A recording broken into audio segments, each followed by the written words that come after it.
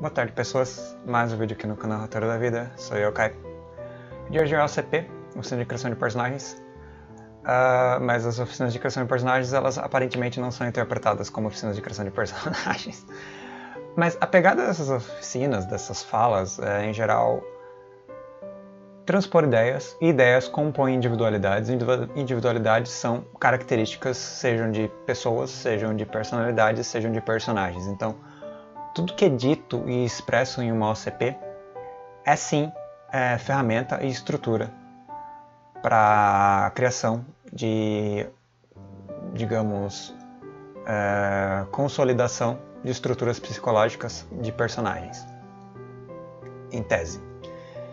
Mas também serve para debater coisas mais práticas. A ideia desse vídeo em específico é falar sobre política. E eu não gosto de falar de política. Fazer uma experimentação aqui, não sei quanto tempo vai durar, vai ser uma coisa bem orgânica. Algumas ideias jogadas por causa que eu tive umas conversas, ou ouvi umas conversas, eu queria mais ou menos debater o que significa ser político, como nasce um político. É, o que significa ser um político, de maneira diversa e ampla, bem ampla mesmo. Eu sei que isso aqui é mais pra entender, mas se você for pensar na criar um personagem político, isso vai ser útil, entendeu? Tem alguma utilidade. Se você for pensar em analisar um político também, talvez seja. Eu sou leigo, ou um leigo pouquinho não leigo, talvez, assim, um pouco acima de uma pessoa leiga, uma pessoa comum, que não tem informação, que é, interage com a mídia, interage com o ambiente, as pessoas e tudo que falam ao redor, de maneira mais ou menos uh, descompromissada. Que gera que eu sou bem todo mundo todo mundo mesmo, bem, bem comum. Então, o que, que eu entendo por político? Né? Uh, antes de tudo, fazer uma pequena análise aqui de uma coisa, é que quando você tem um voto, né, quando você tem o direito de opinar sobre as coisas, não é indiferente sobre quem você opina, e do mesmo modo que você não pode fazer um bolo de maçã ou um bolo de cenoura sem cenoura, você não pode votar num político e querer que ele seja é, um bolo de cenoura porque você precisa de um dos ingredientes, ingredientes certos para fazer o resultado certo. Então, não é tudo a mesma coisa, nem todo político é a mesma coisa, então não adianta nada ser indiferente ou dizer que sempre foi assim ou que sempre vai ser assim, porque quando você vota você está escolhendo os ingredientes e os ingredientes eles têm um resultado. Então você não pode esperar que um bolo de cenoura nasça se você colocou abobrinha no bolo e não cenoura. É mais ou menos essa ideia, é bem simples assim. Você não pode comer banana se você estiver com uma laranja na mão. Embora seja um tanto eforismático com as laranjas, no caso. É, mas de um modo ou de outro, não dá para generalizar. Tem defeitos, tem qualidades, políticos têm defeitos e qualidades. É claro que tem. Mas não é porque eles têm defeitos e qualidades que você não pode saber o que significam os defeitos e as qualidades de cada político ou de cada pessoa, pessoa política ou de cada partido, ou de cada relação uh, de interesses vinculadas entre pessoas e entre empresários, entre, entre círculos, digamos, corporativos ou círculos hum, mercadológicos, talvez, onde temos relações de poder. E eu vou explicar o porquê disso também daqui a pouco. E como funciona quando você julga uma ação política posterior também, né? Tipo, se você está tentando generalizar as coisas, jogar tudo pelo mesmo, pela mesma ideia, né? Não funciona. Mas isso é só para ressaltar que não dá para pensar que alguns vão agradar, outros não vão agradar e é assim mesmo. É, é, é mais complicado do que isso. As consequências são muito, mas muito mais complexas do que essa de é, sempre vai desagradar alguém ou sempre vai agradar alguém. Ah, e é tenso, é tenso, mas essa é a ponto de partida. Primeiro, o que é um político? Um político é uma pessoa individual, é uma pessoa como eu e você, que toma para si a responsabilidade de se tornar uma marca, de se tornar um representante da coletividade, de se tornar uma referência e um porta-voz, e além de um porta-voz, alguém que vai dar vazão às necessidades sociais e vai construir a administração e a gerência, seja no sentido legal, ou seja, no sentido de ser um deputado e ajudar a fazer a legislação, seja no sentido de fiscal, né, de ajudar a gerenciar o financeiro e o acúmulo das riquezas da coletividade, seja no sentido moral, de adequar as leis e os comportamentos, e também no sentido policial, militar, de segurança e de gerência das próprias leis que foram feitas, e também da manutenção da prosperidade daquela coletividade que o elegeu. Então, é um indivíduo representante no sistema democrático que é alocado numa função específica, como um trabalho de manutenção, de gerência e de otimização do sistema para que atinja os interesses daqueles que o elegeram, que é a completude da população. Na prática, existe uma distorção. Eu já explico como existe a distorção, quer dizer, que eu entendo por distorção, né? Como eu falei, eu sou um leigo.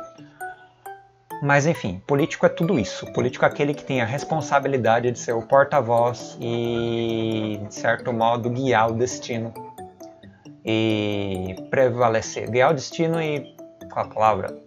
e fazer a manutenção e abrir as portas do futuro, digamos, e criar um futuro para todo mundo e uma prosperidade coletiva. Também no sentido mercadológico, de fazer a troca de, de mercado, de, de bens e consumo, tanto material quanto tecnológico, de primeira instância quanto segunda instância, ou seja, de extrativismo, é, de exportação, ou quanto de indústria e de manufatura mais aprimorada, que seria a parte onde você tem o domínio da técnica e importa o produto pronto, ou mesmo a produção do conhecimento para se exercer a capacitação das indústrias locais para conseguirem dar conta de certas demandas de produtos tecnológicos, em vez de importar tudo do estrangeiro. Isso num projeto de nação, e além do cuidar das fronteiras e outras coisas. Mas isso aí é numa conjuntura maior. Então, temos um indivíduo, esse indivíduo com certos interesses de gerência que preza o bem da coletividade e quer se eleger. Como é que você se elege? Você faz uma candidatura. E como é que você faz uma candidatura vinculada a um partido? Um partido nada mais faz do que captar recursos para promover o marketing do político. Aí entra o primeiro problema, captação de recursos. Quando você capta recursos, você não vai captar recursos de necessariamente a sociedade civil, embora você possa assim fazer é, uma grande mobilização para pegar recursos da sociedade civil para fazer um marketing e expandir a sua personalidade, a sua propaganda de carisma. E literalmente é um grande marketing, é um grande jogo de cartas é, manipulativas ou cartas de venda. Político é um vendedor. Ele vende a esperança, ele vende o futuro, ele vende a prosperidade, ele vende os interesses sobre os eleitores. Se ele sabe que seus eleitores são moralmente alinhados a um modo, ele vai ter um discurso, ou teoricamente deveria ter um discurso. Tem vários tipos de político. Tem os políticos mais sinceros, que expressam a si mesmos. Tem os políticos que são mais neutros, no sentido cinzento, que é meio negativo. Que são aquelas coisas que são mutáveis, tipo um frota da vida que é pau para toda obra. Então ele sempre vai ter um discurso alinhado de acordo com o, a massa de eleitores.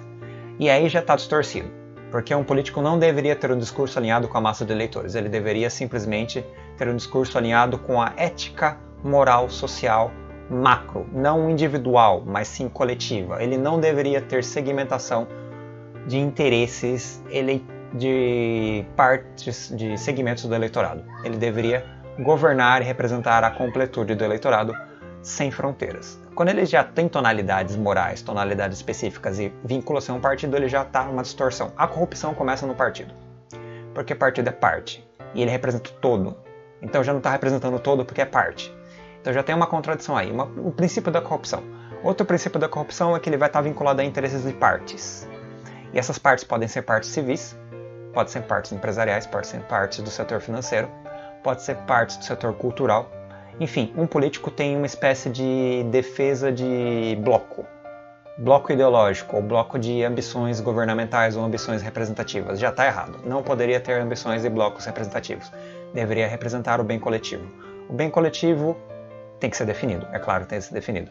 Então, ele é muito mais uma, um mecanismo de regulação, de regulamento da sociedade, do que alguém que defende interesses. Mas já começou errado, como eu falei, já tem um partido. E quando ele vai fazer a campanha eleitoral, o partido vai arrecadar fundos e ele vai criar uma coisa terrível, que é o rabo preso. Porque você fica em dívida com aqueles que te ajudaram a, promover a sua campanha e que te colocaram no seu mandato. Então, um político que é elegido por uma parcela e toma o rabo preso, se ele faz carreira na política, ele não é um político de mandato único, ele quer carreirar, que já é outra corrupção. O político não deveria ser é, representante, não devia ser profissão, não é profissão. Político é um bem utópico, utópico não, um bem de generosidade ao extremo, é um bem de benevolência. Então você não está ali para ganhar nada em troca, você está ali para ser uma até onde der, uma máquina, uma engrenagem, uma, um puppet, mas um puppet social, entendeu? Você se torna um espantalho, um, um daqueles bichinhos de cordas, né? Um, é, tem um nome para isso, né? Você vai se tornar. É, é, em inglês é puppet, né? Eu não lembro o nome agora é, do, do, nome do, do, do, bichinho das cordas, né? Que é controlado pelos dedos dos outros. Então, você vai ser esse tipo de coisa para a sociedade. O que acaba acontecendo é que os políticos acabam sendo esses marionetes, marionetes é a palavra, marionetes para os setores de interesses que elegeram ele. E ele cria carreira, ou seja, já distorceu a pulsão original, que não deveria ser carreirista. E tem salário, tem benefício, ele começa a entrar na máquina e a máquina começa a ser corrompida pelo processo egoísta do indivíduo. O indivíduo se corrompe, o indivíduo se ilumina nessa profissão nova, ele, além de ele começar a alocar todos os seus, as suas falas, os seus, as suas ações, beneficiando aqueles que o elegeram, e os segmentos que o elegeram geralmente são segmentos que têm mais poder, e segmentos que têm mais poder geralmente são segmentos privados, de indústrias, de cooperativas, de empresas, de setor financeiro, de tudo aquilo que consegue financiar e alavancar a propaganda e vender um discurso. Esse discurso ele vai iludir os eleitores.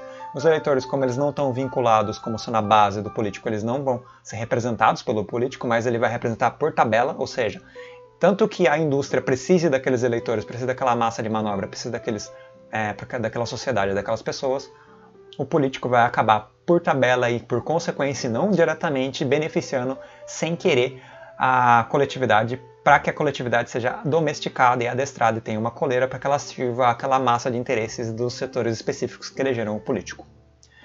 Então tem esse problema. Isso é um puta de um problema em sociedades é, democráticas que elegem políticos e têm a estrutura é, reorganizada para atender os interesses e benefícios da classe que elegeu os políticos se torna aparelhada. E tem um aparelhamento é, financeiro, um aparelhamento de interesses, um aparelhamento de setores da sociedade que começam a guiar os rumos do país e os rumos do destino dos indivíduos da sociedade.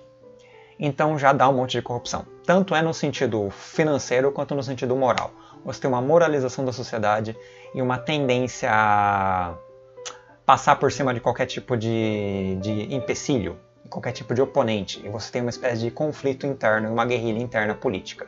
Porque você elege aqueles que representam, aqueles que representam, eles fazem leis para te defender os interesses específicos e começam a atropelar diferenças, atropelar minorias e atropelar a justiça que deveria ser mais ampla e coletiva. Já entra nessas corrupções, tirando a corrupção de partido, que já é um problema, a corrupção de representatividade, que é distorcida, e a corrupção de profissão, que já é complicado. E aí o político começa a gerenciar as leis em benefício próprio, ou seja, é, se tornar cativo na carreira e fazer uma carreira de 20 anos, de 30 mandatos e whatever, quantos anos eles ficam lá, e aparelha completamente ao setor de ideológico. E a maioria dos políticos é aquele esquema de marqueteiro, vendedor de esperanças, e ele começa a vender e negociar, manipulando um aqui e outro ali, principalmente eleitor, é, e fazendo bem bolados para agradar certos setores, para ganhar dinheiro ou fazer parte de esquemas. E geralmente quem é político é elite, porque elite tem mais dinheiro e elite geralmente consegue financiar sua própria propaganda. E quando a elite consegue entrar no poder, ela vai governar para si mesma. Então, se você tem ali um empresário que foi eleito, um advogado que foi eleito, um setor da elite que foi eleito, ele já é moralmente e financeiramente alinhado a uma espécie de ideologia, a uma espécie de doutrina moral, ele vai propagar essa doutrina no seu próprio mandato, ele vai sim criar uma espécie de zona de conforto para a sua própria prosperidade. Então ele vai ser político para si mesmo, ou seja, em causa própria. Isso tem muito também dos que são eleitos no país, porque muitos deles são elite, muitos deles já são ricos, já vieram de uma classe abastada, e é muito difícil você eleger alguém da classe pobre, da classe carente, da classe que representaria de fato aqueles que são necessariamente e precisam ter carência de representação. Então é uma outra corrupção do negócio, porque quem se elege e porque essa toda maquiagem, esse teatro político acaba elegendo um monte de infeliz que não governa nem lascando a população, mas governa apenas de acordo com, a, com o grande palco é, e a grande maquiagem, a grande porcaria que vira o sistema corrompido desde a sua raiz, que é o sistema político, muita gente boa, aí como eu falei, não dá para generalizar, muita gente boa do povo, ou mesmo elite esclarecida que acaba voltando pro povo, ou que acaba tendo uma autocrítica e acaba de fato criando uma humanidade no processo, ou que já vem de um berço mais autocrítico e humano. Tipo a classe média da USP ali, que são os, uh, os alunos da minha idade lá de 20 a 30 anos, que são esquerdistas maconheiros, maconheiros no negativo, mas que são considerados né, drogados e, e boas-vidas, que tem uma classe, que são de uma classe média, são razoavelmente estáveis e, e, e razoavelmente distantes da realidade social, mas que defendem a realidade social com incidentes que são marxistas. Alguns, né? Ah, tem, tem direitista, não dá pra generalizar. E eu falei maconheiro, mas não sou negativo, até eu já usei, então não tem problema nenhum. Eu também era um desses. Eu ainda sou, na verdade. Não tô dizendo, tô advogando contrariamente a eles, eu sou a mesma coisa. Ah, olha a aparência, né? Fefelechinha toda a vida. Fefeleche, eu sou da Fefeleche. Tirando parte que eu sou anarquista e eu tenho dificuldades em fazer contatos humanos porque eu sou antissocial e dá altas merdas. Mas tirando isso, eu não tô criticando o meu berço, eu não tô cuspindo meu prato. Mas voltando. Então, políticos são esses seres complexos que a gente vê na sociedade. E aí tem esses princípios importantes do que é a questão da política. É, e é importante vocês saberem também é, que quando você vota e quando um político é eleito, é importante ele se conhecer, ou quando você se torna um ser político que quer libertar a sociedade das opressões da, dos inimigos, ou dos oponentes, ou das pessoas corrompidas que estão no, na estrutura completamente decadente. Isso falando do berço nacional, não do berço internacional que entra nas relações globalistas, que entra nas relações de pressão comercial, de pressão geopolítica militar, de pressão geopolítica ideológica, de, por exemplo, o que aconteceu com Cuba, que teve um, um cerceamento lá, o bloqueio americano por décadas. Ou seja, política não é só um país isolado, política é o globo, política é as relações humanas de maneira diplomática. Aí entra num outro puta de um assunto amplo. Mas voltando, um princípio que todo político tem que entender sobre si mesmo. Se você quer ser um político, no caso. Ou se você quer criar um personagem político do início. É, é importante saber quem realmente você é. Da onde você vem. Qual a classe social a qual você pertence. Quais as dificuldades que você passou pela vida. Você passou fome, você passou necessidade, você teve que ir para a escola para comer merenda, você teve que ir para a faculdade para comer ah, no refeitório. Eu tive que fazer isso porque não tinha comida em casa. É, quanto de dinheiro você ganha por mês, qual o salário mínimo, quais os seus, uh, sua liberdade econômica, qual é o seu poder de aquisição econômico, qual o seu conforto emotivo, qual a sua linguagem cultural, qual a sua é, estrutura cultural em geral, quais acessos à cultura você tem, que tipo de ideologia você defende, hum, N coisas que tem a ver com a estruturação da sua psicologia para entender você como indivíduo pessoa. Para entender para que, o que você está fazendo e ter essa autocrítica constante de saber onde você está e saber o que você faz.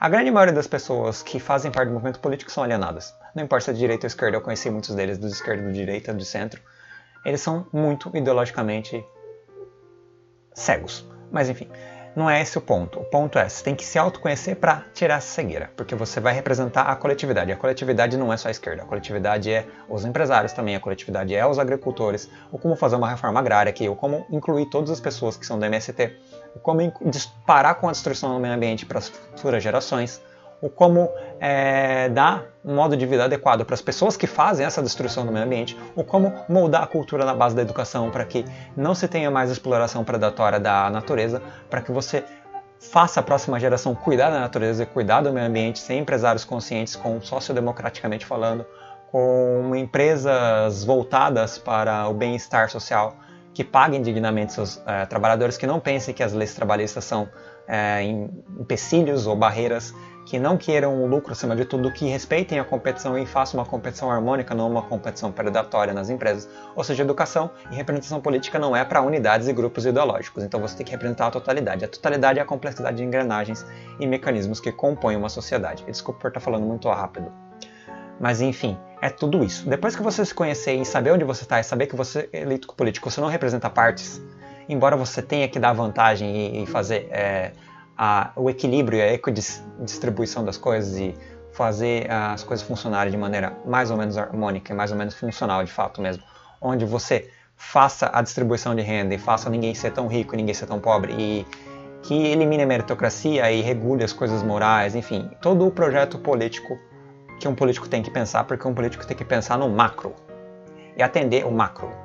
O micro é parte do, da, do trabalho cotidiano, onde ele lida com as diversidades para organizar e harmonizar de maneira é, não teatral, mas de maneira diplomática todas as partes. Como eu falei, políticos têm tendência à corruptela, porque todo mundo se corrompe, porque todo mundo acaba defendendo uma ideia, uma ideia, um ideal. Mas indo em frente, é... uma coisa relativa à eleição, ou relativa à postura política no sentido de mandato. É uma coisa importante. Depois que você. É importante saber quem você realmente é, e depois disso, se você perde ou se você vence, o que é perder e vencer em política? Qualquer vitória parcial em política tem que ser considerado uma derrota. Não tem essa de, ah, tivemos 5. Estavam é, tentando ter 10% de reajuste e tivemos 5%. Vencemos? Não, vocês não venceram, vocês perderam. Qualquer vitória parcial é uma derrota. Então vocês não podem se. Ou você, como político, em exercendo a sua política, você não pode se contentar com qualquer tipo de vitória parcial. Porque uma vitória parcial está beneficiando o seu oponente. Então não está beneficiando o macro. Pensando em macro, né? se você estiver pensando na sociedade como um todo, ou nas parcelas mais oprimidas da sociedade que precisam ser equilibradas e ascenderem, terem prosperidade e terem dignidade na existência. Seja por bolsa de estudo, seja por salário digno, seja por reajuste, seja por qualquer for. Se você conseguir metade, você perdeu. Isso é importante para todo quanto é político, porque não tem meio cheio meio vazio em política. Só tem zona cinza. E a zona cinza é o pior cenário da política, é o centrão, é a zona de interesses, é a zona de disputa, é a zona egoísta. Então, um político que é um político mais purificado, ele não tem meio termo. Porém, ele, se ele não tiver meio termo, ele tem duas opções. Ou ele perde de vez, ou seja, ele é excluído do sistema político, ele não consegue governar, ele não consegue exercer papel ali, ele não consegue representar quem ele deveria representar por causa do sistema estar tá corrompido, ou ele consegue vencer. E vencer significa purificar o sistema significa ser íntegro, significa ter um caráter imutável, inabalável e só aceitar a vitória. Mas, logicamente, de maneira democrática, não, não aniquilando a diversidade e a diferença, mas lidando com a máquina, mais esclarecendo o seu eleitorado, esclarecendo a sua base de apoio, esclarecendo os empresários, esclarecendo os donos do poder, esclarecendo a elite. Então, um político ele tem, acima de tudo, que ser um diplomata da propagação das estratégias que beneficiem a todos. E beneficiem a todos sabendo é, direcionar aquele que tem poder, tipo aquele que tem a dono do deserto do oásis, para que ele ceda o oásis e fique com o deserto, para que ele crie um novo oásis em um outro lugar, para que ele distribua aquilo que ele tem. Para que você tem que ser um grande de um vendedor, você tem um grande de um marqueteiro, você tem que fazer a diplomacia para fazer aqueles que têm poder ceder o poder, ceder o dinheiro e ceder a ambição. E se tornarem pessoas melhores. Então, essa é a missão de um político: manipular, regular a sociedade e transformar a sociedade através do discurso, através da representação. E como ele tem poder social porque ele foi eleito, ele mexe nas leis. Ele regula a sociedade literalmente. Ele faz os empresários, é, tanto ideologicamente quanto na prática, cederem poder. Então você tem que apaziguar a situação, deixar o cara numa boa situação, você não vai destruir a vida de ninguém, mas você vai equilibrar as coisas. Então, sim, se o cara é dono do deserto, que ele distribua areia. Se o cara tem um oásis ali, que ele distribua a posse do oásis para que tenha uma prosperidade coletiva e a prosperidade individual dele não seja superior ou especial e não oprima ou obrigue toda outra possibilidade de transformação dos outros, que ele não se torne uma pirâmide, mas sim se torne um horizonte. Nada de verticalidade, tudo de horizontalidade.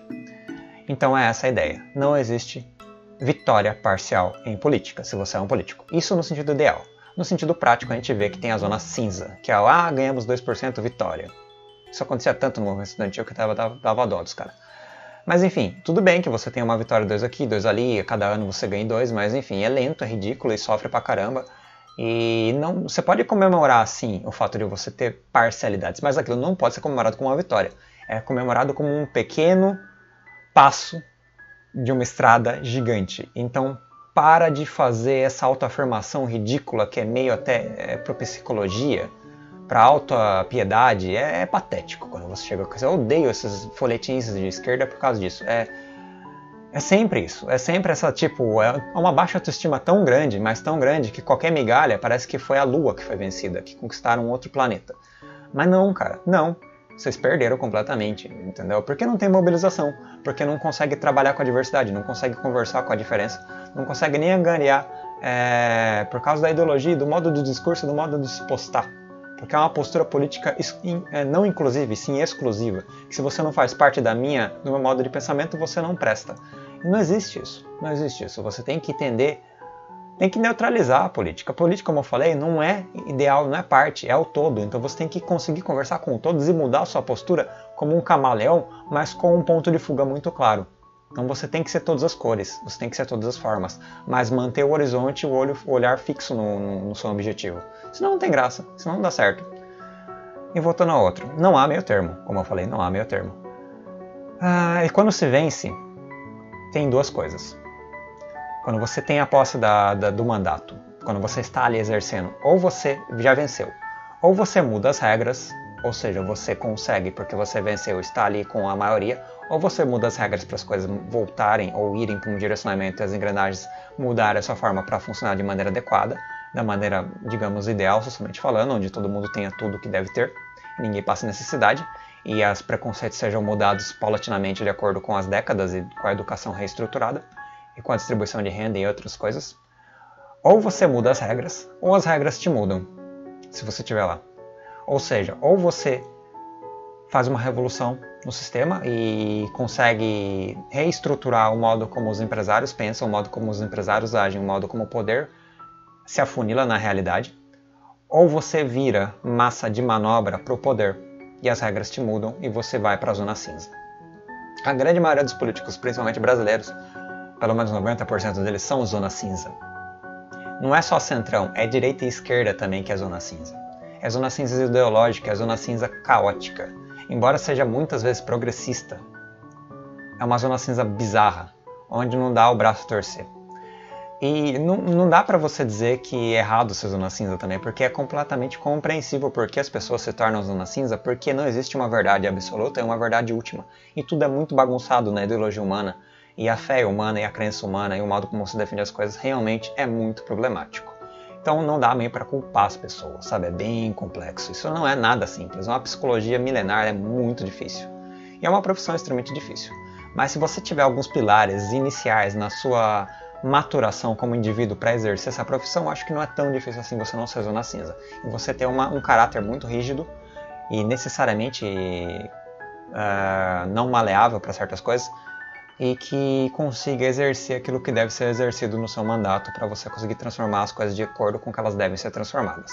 E aí você não vai ser mudado pelas regras do jogo, mas sim vai guiar as regras do jogo para o lugar certo, para que elas sejam regras decentes e justas, bem justas. Em todos os âmbitos, para que as instituições funcionem e não existam mais instituições que sigam interesses também, que nem o judiciário começou a seguir vários interesses, que nem a Câmara segue vários interesses, que nem o executivo segue vários interesses que nem setores estaduais ou setores municipais seguem vários interesses por N motivos, seja por, seja por recurso natural, seja por recurso social, pessoal, mão de obra no caso, seja pelo que for. É bem complicado, mesmo, eu sei. Indo em frente. Aí, falando do eleitorado. Dar opiniões baseadas em achismos, generalizando PT é corrupto ou todo político é corrupto, é achismo, baseado em dados aleatórios que você adquiriu de acordo com o senso comum, é lavagem cognitiva. Então você é um estúpido.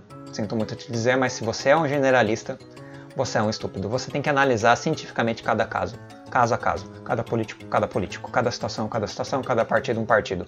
De onde vem o dinheiro deles, para quem eles servem, quais as votos políticos que eles tiveram, a carreira, o percurso político que eles tiveram, é, qual é o ideal moral, qual a estrutura de indivíduo deles, pessoalmente falando, estrutura ética, estrutura moral, estrutura intelectual, estrutura de compromissos que ele tem, quais as coisas que ele cumpriu e se caso ele tiver sido inserido em algum tipo de corrupção, como foi essa corrupção, foi culpa dele, foi é, lavagem cerebral da mídia, foi guerra ideológica ou guerra de informação, é, para denegrir ou degradar é, reputações, desculpa a palavra denegrir, mas degradar reputações, para escolhambar a pessoa, para criar uma espécie de perseguição, como aconteceu com o grande peso ao PT, embora sim eles tiveram inúmeros políticos zona cinzas. Ah, o governo foi zona cinza, é, foi bem cinzento, porém não é nada 100%. Então, basear em achismo e opinião generalista é turvar a sua cognição e fazer autolavagem cerebral, que foi feito pela mídia, que foi feito pelas elites, que foi feito por todas as coisas. Então você tem que rastrear a si mesmo para ver se a sua opinião é ou não alienada. E se você é um eleitor ou não de capacho. Se você é um capacho ou não da, da manipulação geral que acontece nos jogos políticos. O jogo político não é só quem está dentro da política, porque todo mundo está dentro da política, mas não é só quem está se candidatando e sendo obrigado a, a cumprir o mandato, a ceder a seu tempo, ceder a sua vida pelo mandato, mas tem a ver com todos aqueles que votaram. Seja você anarquista, seja você não anarquista, seja você extrema direita, anarcocapitalista ou anar ou comunista ou social-democrata ou sei lá fascista, seja o que for, é, você está dentro do jogo político e do jogo de poder. Como parte, como todo, como sociedade, como cidadão, como indivíduo, como parte responsável do todo. E da parte também, porque você é responsável por si mesmo. Então, reafirmar generalização, acreditar em fatos sem saber a verdade, é, ou a complexidade das coisas, sem os conferir, é o mesmo que espalhar preconceitos e se tornar um preconceituoso. Então, se você tem alguma coisa contrária a algum partido, e você acredita na massa de informações sem nunca pesquisar, sem nunca, embora às vezes a pesquisa não vá ser conclusiva, então você vai ter que ter uma espécie de é, tomada de ação por conta e risco, correndo um certo risco.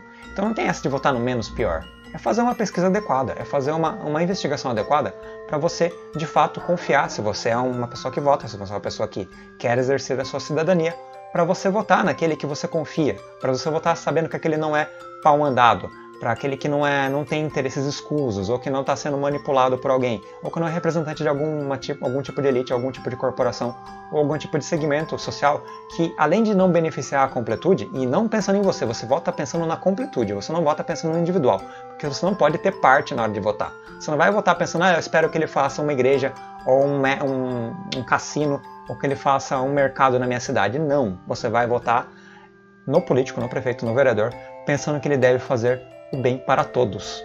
Ele vai fazer para tudo. Se ele tiver prioridade de fazer saneamento básico num bairro distante, foda-se o seu bairro. Se ele tiver prioridade em dar bolsa de sustentação para famílias de baixa renda, foda-se se você não tem ali um investimento no setor elétrico que você trabalha, entendeu?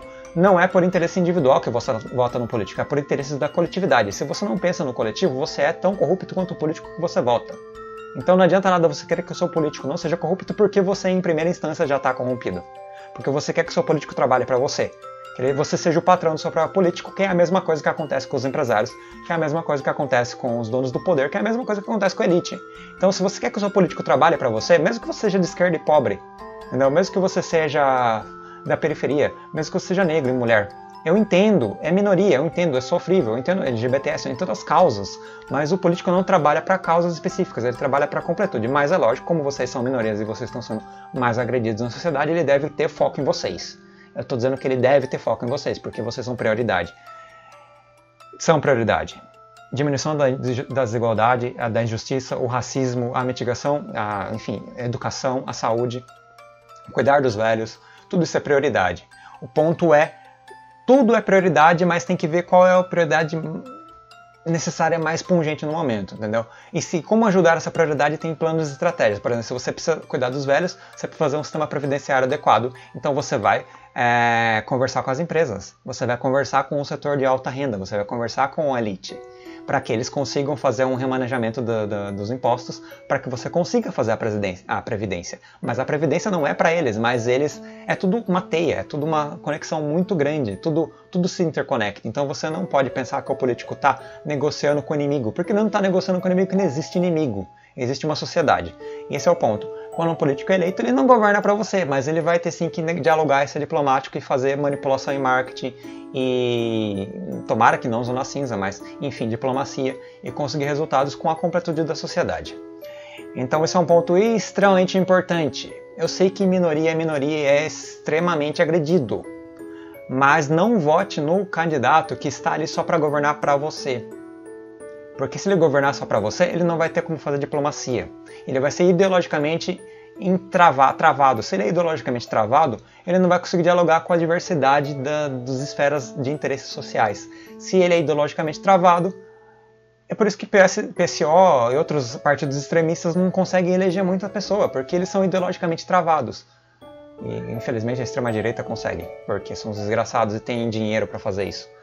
Mas é, se você conseguir eleger alguém que é ideologicamente favorável a vocês, que ele seja ideologicamente aberto também a, a toda a, a, complexidade do sistema político, entendeu? Como eu falei, política é todo, política é sociedade, política é comunidade. Se você quer a política por interesses, tudo bem, é justo, mas não se esqueça que vai continuar na merda. Vai continuar do tipo, eu tomei o poder, eu fiz uma, um país comunista aqui, tô atingindo o interesse de todo mundo? Não, entendeu? Bom, talvez sim, não sei. Tem que pesquisar muito país social-democrata também, país nórdico, como é que funciona lá o bem de distribuição de renda, que essas coisas são importantes, entender como a estrutura dos partidos, lá fazer uma reforma dos partidos, uma reforma tributária, reforma agrária, reforma, N tipo de reformas adequadas para a coletividade e não para os sistemas de poder, e não para os sistemas financeiros, os sistemas empresariais. Então, essa toda é a ideia do que significa política, do que significa ator político, do que significa ser político na sociedade, ou seja, ser eleito como representante da, da maioria ou das pessoas, uh, e de como o, o eleitor tem que ter um puta no esclarecimento na hora de você eleger alguém para que as coisas não sejam enviesadas. E mesmo que sejam enviesadas, que sejam enviesadas de maneira diplomática. Por favor, maneira diplomática. Tem muitos esquerdistas diplomáticos que gosto pra caramba deles. É, e eles foram eleitos, aliás, são bem legais. É, mas só ressaltando, não tenha ódio aos infelizes do outro lado. E eu vi isso muito em movimento estudantil ou em qualquer tipo de defesa de partido. É ódio. É ódio contra as pessoas que têm poder, é ódio pelos que estão acima na hierarquia. E é uma bosta mesmo, até eu tenho mas tem que ter um modo para dialogar. E não um modo de vitória. Não é aquele, é, tudo bem, eu sei que eu falei aqui que só tem vitórias depois de, de que a vitória é de verdade efetivada. E não existe vitórias parciais na política, mas sim são derrotas. Porém, o percurso disso é importante, então não pode criar rancor. Isso tudo bem, a gente vai continuar perdendo, vai continuar perdendo, mas aos poucos pode vir uma vitória, então tudo bem. É num processo de derrotas que se vence. Mas tem que ser um processo de derrotas onde não exista rancor, não exista ódio, não exista. Tudo bem, fácil, até complicado, eu sei. Uh, enfim, tem que ter a gerência social, da sociedade para esse tipo de situação. Tudo bem, em alguns momentos sim, vai ter que ter uma agressividade revolucionária e violenta mesmo. Violenta, tô falando no sentido de destruição mesmo. Uh, de tomada da, da, do poder com as próprias mãos ou coisa assim. E, e conseguir parcelas expressivas para você guiar as maiorias e as massas para um sistema digno, porque não dá, fácil não tem como. Mas enfim, quando as coisas estão na zona cinza ou na zona só de direita e dá para conversar, conversa, não odeia, tudo bem. É professor desgraçado? É professor desgraçado. É policial desgraçado? É policial desgraçado. É político desgraçado? É político desgraçado. Ele pode ser uma boa pessoa, tem família, tem interesses específicos, tem dignidade, tem honra, tem passado, tem tem tudo aquilo que compõe você, compõe ele. É seu espelho, só que de maneira distorcida. Ele é a mesma coisa que você. Então ele é um semelhante, ele faz parte do todo também e ele tem que ser representado. Então você não pode esquecer que quando você está tentando se representar, ele tem que ser levado em consideração na negociação para que tudo bem. Se ele tiver muito poder e ele não quiser abandonar, ele estiver firme ali, você vai precisar de mobilização e vai ter que tombar o poder dele. Como é que se toma o poder? Fácil é, todo mundo que tem poder depende de alguém. Tipo, se é um professor, depende da classe. Se mobilizou a classe, o poder tá, tá na classe, não tá no cara. O indivíduo nunca tem poder, quem tem poder é a coletividade. Se você tem a coletividade numa cidade, quem está em poder? Os representantes, que são cerca de 200 ou 60 mil da cidade? Resposta óbvia. Ah, mas tem força policial? Foda-se a força policial. O policial também é povo, o policial deveria estar do seu lado. Ah, e se não tiver, aí ferrou, porque vai ter que dar uma porrada mesmo. Mas enfim, é, é isso, entendeu? Se tiver a união das diversidades para o interesse em comum coletivo, os representantes eles dançam na nossa mão. Literalmente eles dançam na nossa mão. E não importa se é empresário, se é rico, sempre é topo da pirâmide. Topo da pirâmide é. Dá nem um milhão de pessoas, a gente tem 200 milhões de habitantes. então é muito fácil de bater nos caras. Assim, tipo, é, só não tem uma sociedade decente porque a gente é completamente caótico, confuso e não funciona. E não consegue fazer funcionar a realidade. Porém, é, se transformar a sociedade é a coisa mais fácil do mundo. Simplesmente todo mundo agir numa única direção. Se mudar o fluxo para uma única direção e fazer uma manifestação grandona, já era, entendeu? Não é difícil. Não importa o quanto militar eles tenham, eles não vão ganhar de 50 milhões de pessoas. Entendeu? Se parar o país em greve, é, e fazer distribuição de alimento, porque o dono do, dos alimentos, que é a essência da vida, que é água e alimento, é as pessoas. E as pessoas podem ir lá pegar literalmente tudo o que precisam e manter fazer um ciclo de transferência é, de alimento, de necessidade, de itens básicos, de dignidade entre a gente, sem governo nenhum. Não precisa de governo nenhum para vocês viverem para sobreviverem para todo mundo sustentar. A teia funciona pelas partes em harmonia. E se as partes em harmonia não querem ser manipuladas e governadas, elas não são. Por isso que o anarquista, aliás. Uh, esse é um ponto central, entendeu? E não é nada revolucionário isso aqui. Isso aqui é, é o que faziam antigamente né, nas vilas, nos vilarejos. Autogerência. É, os povos antigos, os povos tradicionais. E adequada, autogerência muito consciente. Então não é nada difícil você tombar os políticos inadequados. Não é nada difícil você tombar a elite inadequada. Não é nada difícil você fazer as reformas acontecerem porque você quer que elas aconteçam.